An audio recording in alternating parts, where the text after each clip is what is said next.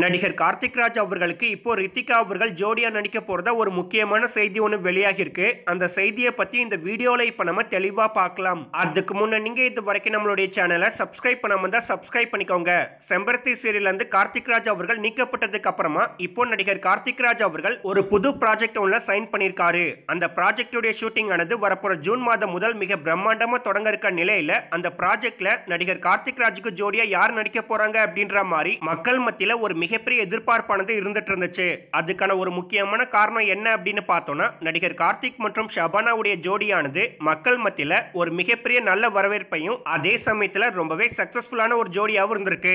இதனால இப்போ அந்த ஜோடியை பீட் பண்ற அளவுக்கு யார் வரப்போறாங்க அப்படின்ற மாதிரி எதிர்பார்த்துட்டு இருந்த நிலையில நடிகர் கார்த்திக் ராஜ் அவர்களுக்கு ஜோடியா விஜய் டிவி பிரபலமான ரித்திகா அவர்கள் தான் அவங்க கூட ஜோடியா நடிக்க போறதா இப்போ ஒரு முக்கியமான செய்தி ஒன்று வெளியாகிருக்கு ரித்திகா அவர்கள் இப்போதான் சமீபத்தில் குக் வித் கோமாளி நிகழ்ச்சி மூலியமா தமிழக மக்கள் மத்தியில் ரொம்பவே பிரபலமாயிருக்காங்க. அது மட்டும் இல்லாமல் இவங்க விஜய் டிவியில் ஒரு சில சீரியல்லையும் நடிச்சிருக்காங்க.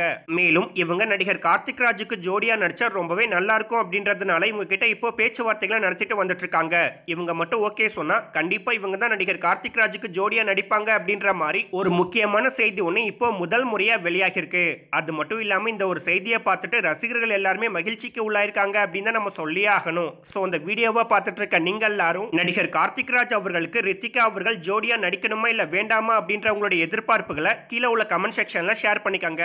இந்த வீடியோ உங்களுக்கு பிடிச்சிருந்தா லைக் பண்ணுங்க ஷேர் பண்ணுங்க. மறக்காம நம்ம சேனலை சப்ஸ்கிரைப் பண்ணுங்க.